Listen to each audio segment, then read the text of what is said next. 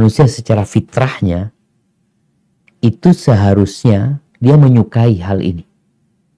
Di antaranya adalah memotong kuku ya, kemudian memendekkan kumis, mencabut bulu ketiak, bulu kemaluan dihabisin, dan memelihara jenggot.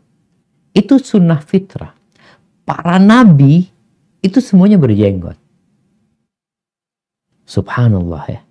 Rasul Sallallahu Alaihi Wasallam, Masya Allah, bagaimana jenggot beliau memenuhi dadanya alaihi salatu wassalam. Namun ketika seorang itu ada yang rusak di fitrahnya, maka yang indah akan dipandang buruk. Contohnya nih, beberapa tahun terakhir ini jenggot itu mulai booming ya di mana pemain bola pada berjenggot ya, artis pada berjenggot. Akhirnya orang senang berjenggot. Bukan karena sunnah, tapi karena yang dia idolakan berjenggot. Terus kenapa engkau tidak mengidolakan Nabi Muhammad alaihi salatu wassalam? Bukankah beliau berjenggot? Bukankah beliau yang memerintahkan perintah uqful wahfus syawarib. Pelihara jenggot, cukur kumis. Sekarang dibalik. Pelihara kumis, cukur jenggot.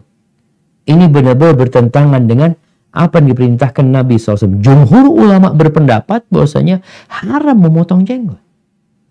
Dari mulai madhab Maliki, madhab Hanafi, madhab Hambali, dan sebagian ulama Syafi'i yang mengharamkan. Karena Nabi menyuruh membiarkan kok kita malah mencukur jenggot kita gitu.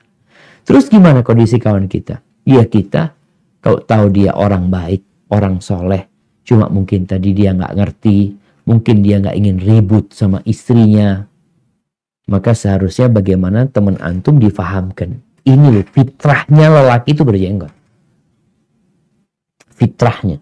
Artinya bicara tradisi karakter seorang laki-laki sejak dulu itu dia berjenggot. Perempuan nggak berjenggot. Kenapa Allah berikan jenggot kepada laki-laki? Ya agar dipelihara. Dikasih kumis ya agar ditipiskan supaya nggak nutup mulutnya.